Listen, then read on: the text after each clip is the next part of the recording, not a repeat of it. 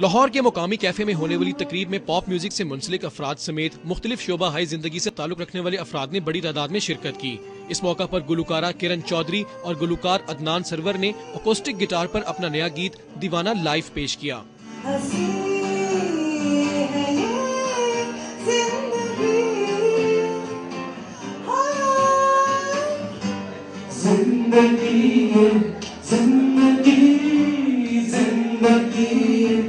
तकरीब में पाकिस्तान के मारूफ पॉप गुलकार अली अजमत ने भी खसूसी तौर पर शिरकत की। उन्होंने किरण चौधरी और अदनान सरवर के गीत को बेहद सराहा। ये इवेंट बड़ा अच्छा था जी। मेरे दोस्त हैं किरण और अदनान और उन्होंने गाने ऑब्वियसली तीसरा सिंगल है उनका।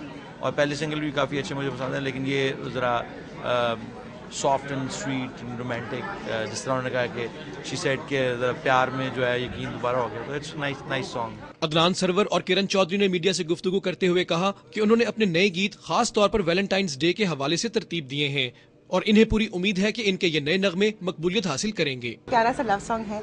हम इसको वैलेंटाइंस के मौके पर रिलीज़ करेंगे। हमारे गाने अगर आप गौर से सुनेंगे तो वो गाने जो हैं वो एक लाइफ का साउंड ट्रैक है। हमारा सबसे बड़ा जो होप है इसके साथ कि हमारा म्यूज़िक एक वाइडर ऑडियंस में सुना जाए। तकरीब के शुरा का कहना था कि अदनान और किरण के नए गीत पॉप मौसीकी की दुनिया में एक अच्छा इजाफा है और उम्मीद है कि उभरते हुए ये नए फनकार बहुत जल्द अपना नाम कमा लेंगे। Asim Bhatt Dawn news Lahore.